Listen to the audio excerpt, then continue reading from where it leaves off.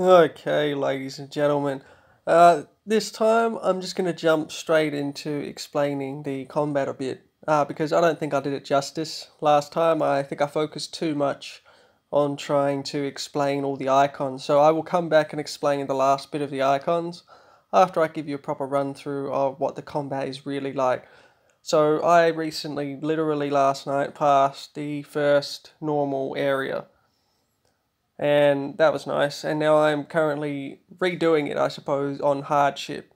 So we're going to start from here. I'm not going to explain every single card. I'm just going to explain the reasons I have the cards that I have on based on the enemies above. Now, my cards down the bottom, my average mana is 6.4. I have health potions, mana potions, and large health potions. Like, generally speaking, I don't I don't really use any of those potions during campaign, but you never know, so you might as well have them on. Now, I see up the top here we have we're versing Skeleton Archers level 5, Skeleton Warriors level 5, Skeleton Hunters level 4, and two basically legendary units, two very difficult mobs. Those two will summon skeletons. The Hunter shoots from behind enemy lines and deals quite a bit of damage to people the skeleton warriors and skeleton archers aren't that big of a deal, but enough of them will overwhelm anyone, really. Now, I have down on the bottom here, my cards are basically a spell. Burst Arrow does 3.3k damage. The reason I chose this, basically, this enemy has 7.8k health, and the legendary enemy has 2.6. So my line of thinking is one hit hopefully the legendary enemy so I can focus fire on the elite. But we'll see how things go in the battle ahead. Second one is an orc captain. This is actually a skin at the moment. Down the bottom there on the left is what it originally looks like, but this is basically an AoE attack. He she jumps up, smashes down, and hits in a radius around her. It's going to be very important in dealing with summoning. Like, for example, those two yellow and red units will summon units. So my line of thinking is to have her deal with the summoned units by hitting them all at once, basically. Now this Death Knight is a new card I got from finishing the 5th level, and I don't know if it's good, I haven't used it yet, but I'm going to use it. It steals life when it kills things, so uh, it's got a good amount of health and a good amount of defense, so I'm going to use this as my tank unit for this round. Hopefully it goes well, I think it will. But we'll see again how it goes because you do need a tank unit to take on large amounts of enemies, even small amounts of enemies. You're going to want a tank unit. You don't want to just have to tank with your hero, even though you can do. Now, this summon copy one is amazing. You summon a card, and then this summon copy copies the card you've most recently used and allows you to summon it again at the cost of two extra mana than it originally cost. And that is absolutely worth having on your deck if you're if you have the card, really. It's amazing. You double the units you have immediately, especially if you have, for example, Skeleton Force summon six skeletons. If you can get 30 mana, you can summon two sets of Skeleton Force without having to wait for the cooldown, which is literally 12 units on field immediately. And that could be a great advantage depending on the type of situation you're in. Next one across is a healer. This healer is going to be purely for healing the tank. That he doesn't attack, he just heals at the cost of his own health. When his health goes to zero, he dies, but all of his health transfers over to the main target of healing. Now, these last ones, Royal Dust, are just airborne units. They shoot from a distance and they're cheap. I can spam them and they will do a decent bit of damage over time as I push through the level itself. So I'm going to just jump straight into it and we're going to try and smash this. Get three stars first try, hopefully. Alrighty. Now, there is a time limit, obviously, in the top right there. You can break stuff around the map. It's usually pots or a, a flagpole or something like that, and you, you'll either get health or mana from it. There's also purple mana chests and... Ooh, he looks cool. Purple mana chests and green health chests, along with item chests that'll be golden do I want two Death Knights or do I want... You know what? I'm going to try two Death Knights and see how well we go. Alright, just going to charge straight in. I'm going to aim at that hunter because the hunter does quite a bit of damage in the back lines there. I'm liking the Death Knights immensely so far. Absolutely brilliant. They don't even need to be healed. Uh, is this the skeleton, legendary skeleton summoner? Don't think I'll even need to... Oh my. Alright, that got out of hand. So ideally speaking, you do want to be taking out the ranged units as fast as you can because they may not seem like much of a threat, but damn, they add up. They add up very quickly when there's three or four of them. They will do a lot of damage to any one of your units. Now I'm going to try and hit one hit this guy. Yes, absolutely demolished. To focus fire the skeleton summoner. Oh, brilliant. I think I'm going to quite successfully pass this mission. And just for a bit of extra DPS, I'm going to get these royal dusts out, double them up, get six, excellent. Yeah, now they don't do much damage by themselves, but once you are able to start massing them, they start stacking up the damage very quickly. Three Death Knights, I don't think I'm going to have a problem beating this level somehow but those skeleton hunters need to go. Just gonna shoot them, shoot them. Yep, I think this was a very successful mission here. Absolutely demolished. Alright, that was good.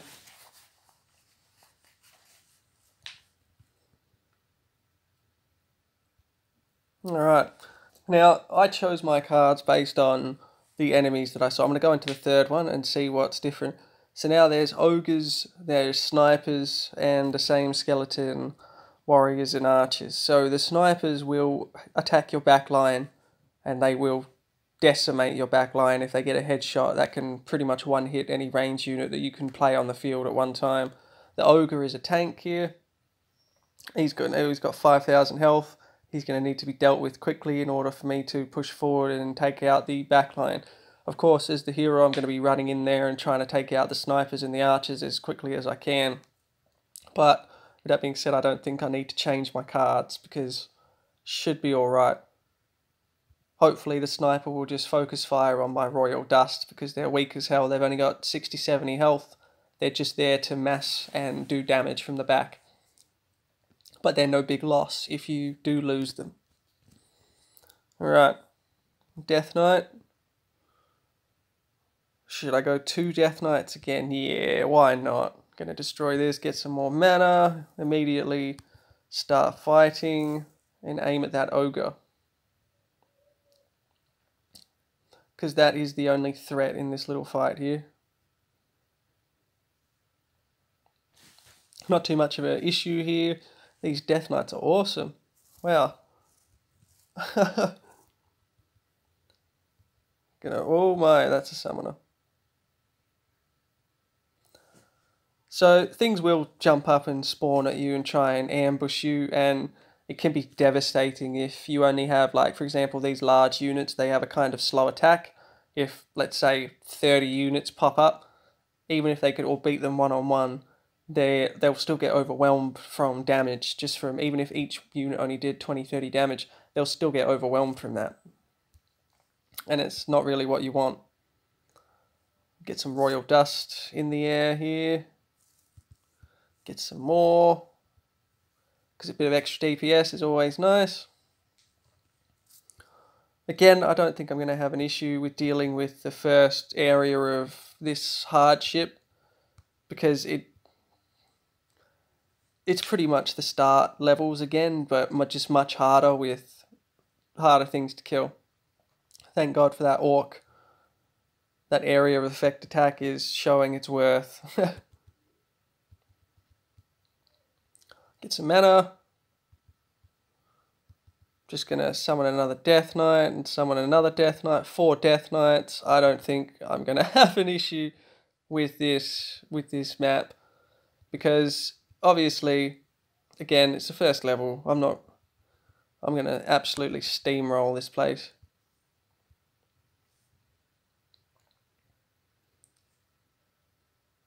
I'm just gonna sit here and let the battle play out. Snipers don't even matter when I think I have four Death Knights, so yeah, overwhelmed.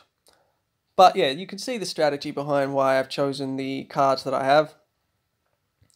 They make a difference when you think about if you just go into a battle using cards you just randomly use without looking at the enemies. Yes, you'll be alright for the first few sets of levels, maybe up to three, but you will need to start paying attention to the enemies that will be played on the field so you can plan your cards accordingly. Now I just got the first clear reward down here for 9 stars, going to collect that. Extra money, always good. Now I'm going to go back into hero here and just explain the last few icons here. So package at the top right here, that is the same thing in the dark shop in shop down here, just up the top there. Simple, simple enough. Not applied here. Now this is quite interesting you can buy a mana package that will allow you to start at max mana for 500 uh, ruby or gems, but it doesn't apply to Infinite Chaos or the PvP battlefield, which is kind of fair enough. But the interesting part is you don't have to actually pay real money to do it. You can collect 500 gems pretty quickly. So that that is interesting in and of itself if you want to push forward with your strongest cards through the campaign. I mean, I, I didn't do it myself because I was saving up for skins but, you know, that's just me. Going over to the left, we've got season ended. I mean, that ended yesterday. I'm not sure when the new season will start, but it's pretty simple. I'll explain it when it eventually restarts. Now, going down into this little scroll, that is your notices for the game, notices for updates, etc., etc. This is your mail, one down below it you will get these Loon special gifts every day and they will have cards in them and you're going to want to collect them every day. They don't stack and you have to log in in order to collect them. One down below that is actually the story. So you as you play the game, you play a new level, you will unlock the story and the story segments will be stored in that little icon. Now, the last thing I want to touch on before I leave this video because I don't really want to make these too long, overwhelm people because these are coming out quite a bit faster, is the PvP. Now, PvP is quite interesting. You choose your cards again and you have to attack someone who has set up a defensive amount of cards and can summon them over time. So I'll go into my defend just to explain that. You see there's seconds below the cards themselves at the bottom here. Now, that basically means that when it starts, after this amount of time, these mobs will spawn and attack the enemy that is attacking you. I set up this manually because basically just wanted to... It's a bit of an experiment. No one's attacked me yet, so I can't see how well my defense is. But my line of thinking is first wave relatively simple. I put an AoE there, which is this um, mage. He does area damage with a little bomb. I figure if they get a mass units, they'll kill them. I put a hunter here because it's a good little sniper that can take out most enemies with two or three hits. And I just threw in these skeleton warriors because they are decent little tanks. They won't last long, especially if the enemy summons a big unit. But it's all a it's all a guess. The wave two after 55 seconds is going to be these halberd. well, I have a skin on these ones too, but they're going to be the halberd Vikings. And there's going to be two of them. They're quite strong. They can hold the enemy back for as long as, I hope, for as long as needed until my skeleton force summons, which is three level 6 warriors and three level 6 archers that can pump up behind it and support them. But again, that is just my current theory. We'll see how we go if I ever get attacked. But I'll give you an example of the PvP itself. I will use this lineup actually. Yeah. So I get randomly matched with an enemy, obviously. And we're going to see how hard it's going to be. I just ranked up to Bronze 2. Another free-to-player. nice name. So Death Knight immediately. And I'm going to get multiple dusts. Yeah, see,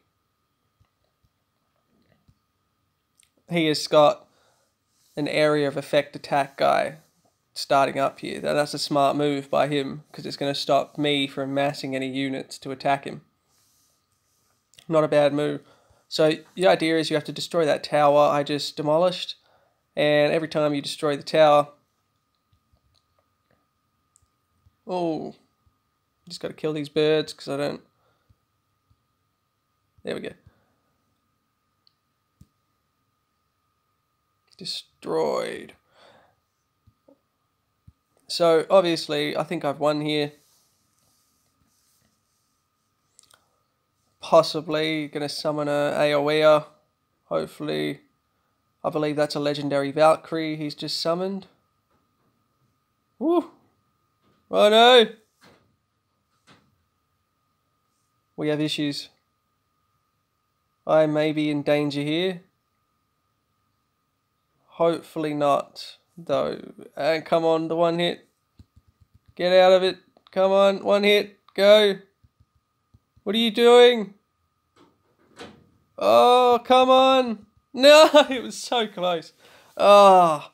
Now, my issue there was in the third wave, he managed to summon lots of enemies, and it just overwhelmed my Death Knight. That's unfortunate. I'm going to do another battle because that was bloody embarrassing, and I'm going to try and actually win one, so we'll see how we go. This is another one, uh, ARPK. Okay. I'm going to go immediately get a Orc and a Death Knight. Summon the Rangers. Oh, he's summoned a Skeletal Wyvern. That's a ballsy first move. That needs to die. Oh my god. Get out of it.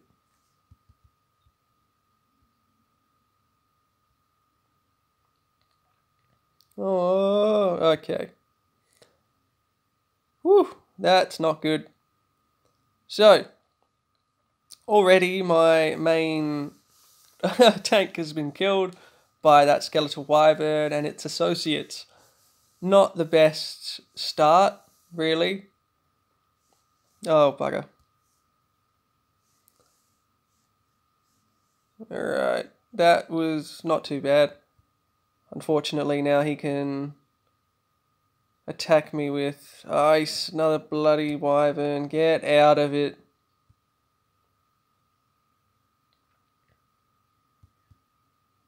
Now this was an interesting defense. It's just massive, mass units after mass units. Unfortunate for me. You can tell that I have bad cards here. Or maybe I'm just bad at the game, hard to say.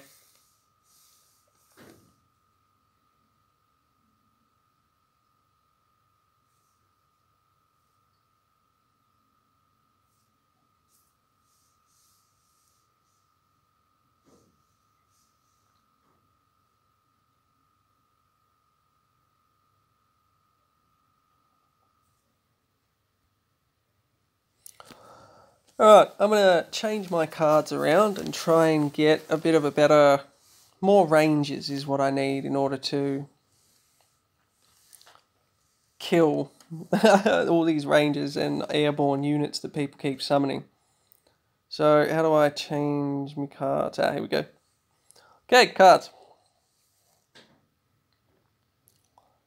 I am going to straight up get Skeleton Force and I'm going to put that where the Death Knight used to be just for lots of numbers. I'm going to keep the Orc for AoE, I'm going to keep my spell for single target DPS. I'm going to put these Halberdiers in, but they are quite expensive on the mana. I won't be able to summon them as often as I would like. So, what I'm going to do is Maybe I'll just get these skeleton archers. See how they go. Now these royal dust have not been too useful for me, which has been a bit depressing. I'm going to try an undead Viking and see how we go from there. Just going to start the random battle and hope that I'm not bad.